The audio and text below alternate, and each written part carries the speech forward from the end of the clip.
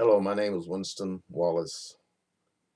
I want to recall an event that happened to me, to my wife Mary Lou, my daughter Marissa, and my niece Teresa in the year of 1977 concerning a UFO, unidentified flying object.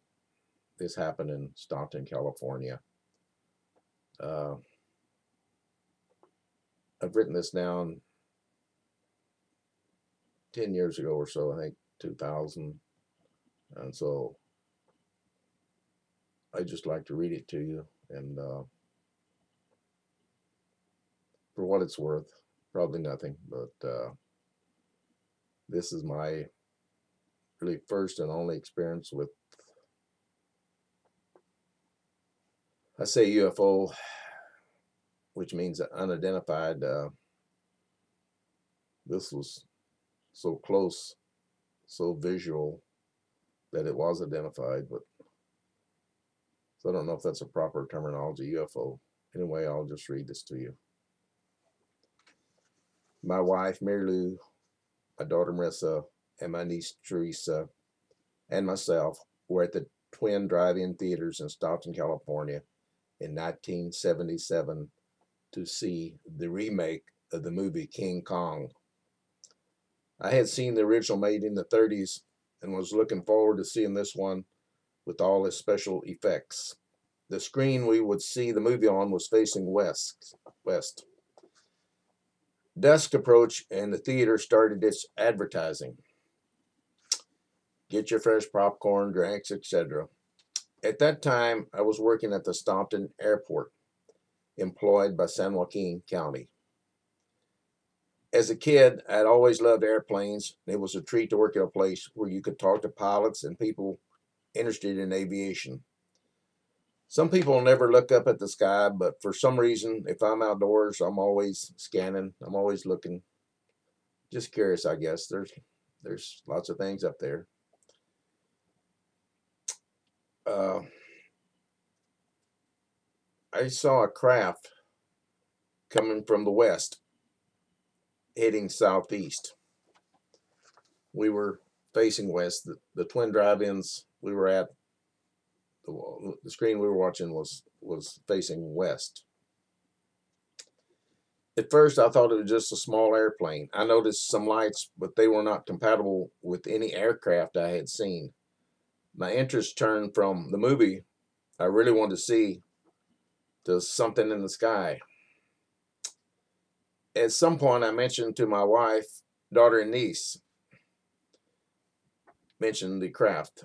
They were somewhat absorbed in the movie, which is logical. We didn't come there to watch the night sky.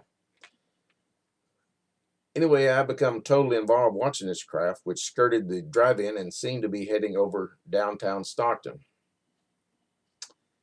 I remember saying, I bet the guys in the tower, the airport tower, are looking at this thing.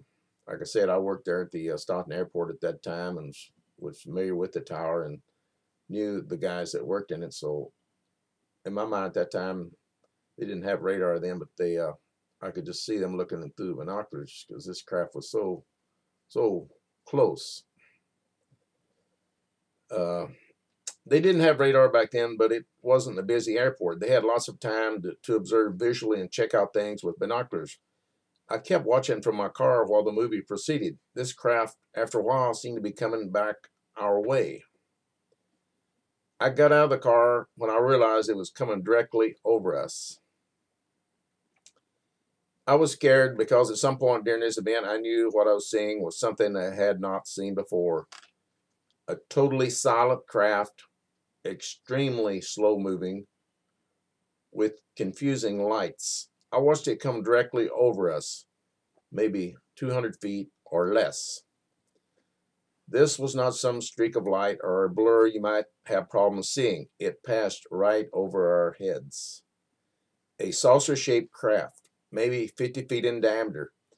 It seemed to consist of two sections, or if not, rotating lights that flashed as it revolved give that impression.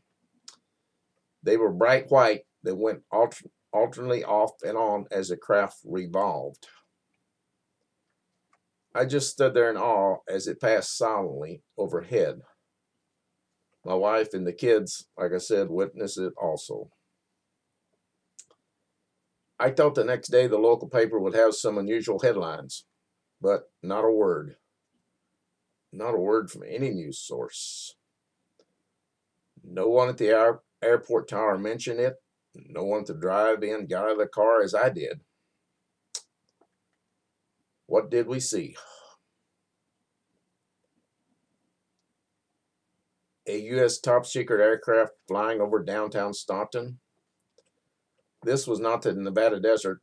Whoever controlled this craft cared not who saw it, which brings up the most perplexing question to me. Did anyone else see it at all? And how could they not see it? I could throw a rock and hit it. It flew directly overhead. It was there, even though it was dark, with all the lights from the drive-in. It was just so close. So close. So real. I am 68 years old now. I have a family and grandkids. I am retired from the Army National Guard.